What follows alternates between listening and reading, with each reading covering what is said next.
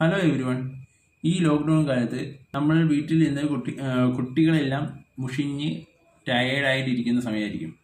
അവർക്ക് വേണ്ടി നമ്മൾ എന്തെങ്കിലുമൊക്കെ പറഞ്ഞു കൊടുക്കുന്നത് അവർക്കൊരു നല്ല നല്ല ഒരു വേറിട്ടൊരു അനുഭവമായിരിക്കും. അപ്പോൾ അവർക്ക് വേണ്ടി പറ്റിയ ഒരു ഒരു ടൈപ്പ് ക്രാഫ്റ്റാണ് ഞാൻ ഇവിടെ പറയാൻ പോകുന്നത്. ഇത് പ്ലാസ്റ്റിക്കിന്റെ റോപ്പ് അല്ലെങ്കിൽ ഒരു പ്ലാസ്റ്റിക്കിന്റെ വള്ളി കൊണ്ടുണ്ടാക്കിയ ഒരു ഫിഷിന്റെ മോഡലാണ് ഇതിന്റെ ഇതെങ്ങനെ ഉണ്ടാക്കുന്നതെന്ന് ഞാൻ ഈ വീഡിയോയിൽ പറയാൻ പോകുന്നത്. ആദ്യമേ തന്നെ നമ്മൾ രണ്ട് സെയിം ലെങ്തിലുള്ള വള്ളി എടുക്കുക. അത് പ്ലാസ്റ്റിക് വള്ളിയാണ്. ലേഡീസ് സ്റ്റോറിലും ക്രാഫ്റ്റ് ഉണ്ടാക്കുന്ന കടകളിലുമായിട്ട് നമുക്ക് മേടിക്കാൻ കിട്ടുന്നതാണ്. ഫിഷ് ഉണ്ടാക്കാൻ വേണ്ടി യൂസ് ചെയ്യുന്ന റോപ്പ് ഉണ്ടോ എന്ന് ചോദിച്ചു കഴിഞ്ഞാൽ അവർ തരുന്നതായിരിക്കും. ആദ്യമേ നമ്മൾ എന്താ ചെയ്യേണ്ടതെന്ന് വെച്ചാൽ നമ്മുടെ നാട്ടിൽ പണ്ട് കാലത്ത് നമ്മൾ ഓലക്കണയിൽ ഉണ്ടാക്കിയിരുന്ന കാറ്റാടി ഈർക്കിലിൽ കുത്തി ഓടിച്ചോണ്ട് വന്ന കുട്ടികൾ ആയിരത്തി തൊള്ളായിരത്തി തൊണ്ണൂറുകളിൽ ജീവിച്ചിരുന്ന എല്ലാവർക്കും അത് എന്താണെന്ന് അറിയാൻ പറ്റും. ഇപ്പോഴത്തെ കാലത്തെ കുട്ടികൾക്ക് ആർക്കും അറിയില്ല. അപ്പം നമ്മൾ എന്ത് ചെയ്യണം? ആദ്യം ഒരു റോപ്പ് എടുത്തിട്ട് ചൂണ്ടുവെല്ലിന്റെ അവിടെ ഇങ്ങനെ ചുറ്റി വയ്ക്കുക രണ്ടാമത്തെ റോപ്പ് അതിന്റെ ഇടയിൽ കൂടെ ഇങ്ങനെ എടുത്ത് വയ്ക്കുക അത് കഴിഞ്ഞിട്ട് അതിന്റെ ഒരെൻഡ് അതിങ്ങനെ ചുറ്റിയിട്ട് മറ്റേ റോപ്പിന്റെ മേളിൽ കൂടെ ഇവിടുത്തെ ഒരു ഇതിൽ ഇതിൽ കൂടെ കയറ്റി വെളിയിലേക്ക് എടുക്കുക. ഇപ്പോൾ ഒരു കാറ്റാടിയുടെ ഒരു ചെറിയ മോഡൽ പോലെ കിട്ടും.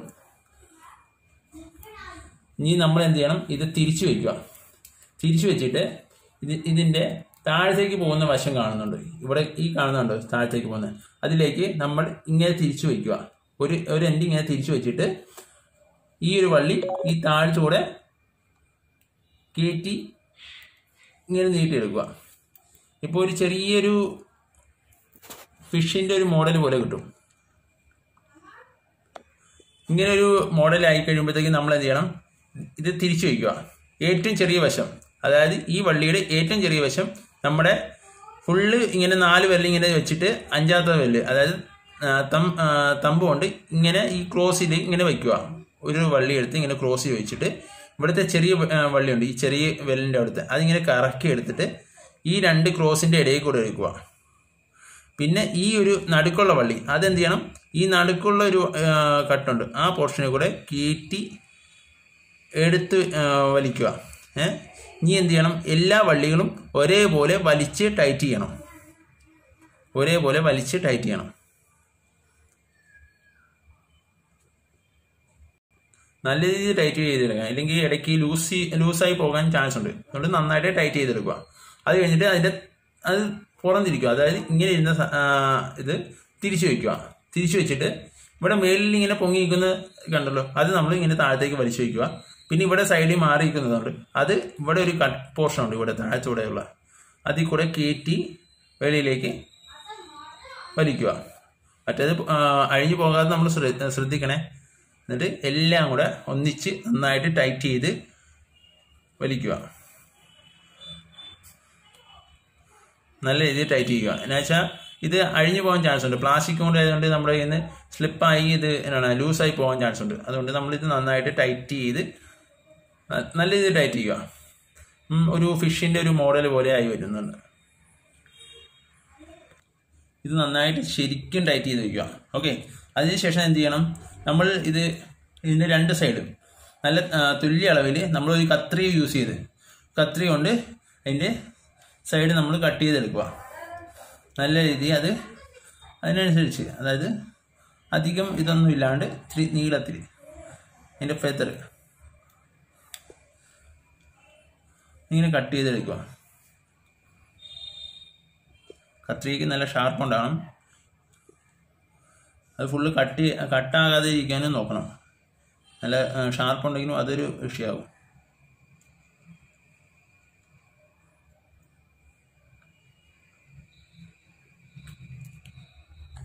അതേപോലെ മറ്റേ സൈഡും അതേപോലെ സെയിം ആയിട്ട് തന്നെ ഇതിനെ കട്ട് ചെയ്തെടുക്കുക.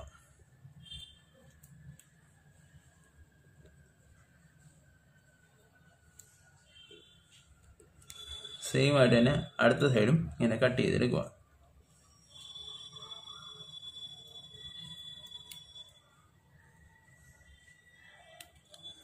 നല്ല രീതിയിൽ കട്ട് ചെയ്തെടുക്കുക. നല്ല രീതിയിൽ ടൈറ്റ് ചെയ്ത് വയ്ക്കുക ഇത് പറ്റുമെങ്കിൽ ഒരു സൂചി നൂലും കൊണ്ട് ഈ രണ്ട് സൈഡും കൂടെ തുന്നി റെഡിയാക്കി എടുക്കുകയാണെങ്കിൽ അത് ഒരിക്കലും അഴിഞ്ഞു പോകാണ്ട് സെയിം ആയിട്ട് ഇരിക്കാൻ വേണ്ടി സാധിക്കുന്നതാണ്. സൂചി നൂലും ഉപയോഗിച്ച്.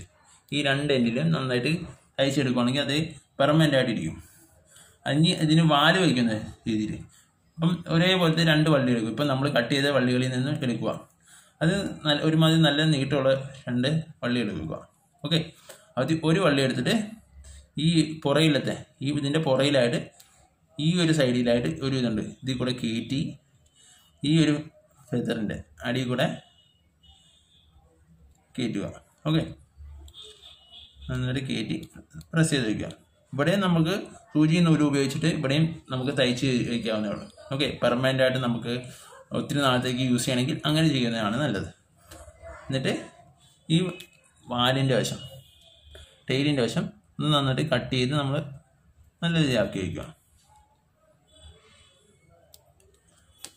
പിന്നെ അടുത്ത വള്ളി എടുക്കുക അത് ഇപ്പുറത്ത് വീണ്ടും വയ്ക്കുക. എന്നിട്ട് ഇതേ ഈ ഫെദറിന്റെ അടിയിൽ കൂടെ കയറ്റി ഇതേപോലെ തയ്ച്ച് വയ്ക്കണമെങ്കിൽ നന്നായിട്ട് തയ്ച്ച് വയ്ക്കാം. നമുക്കത് പിന്നീട് ആവശ്യം ലോങ് ടൈം യൂസിന് വേണ്ടി നമുക്ക് യൂസ് ചെയ്യാൻ പറ്റും.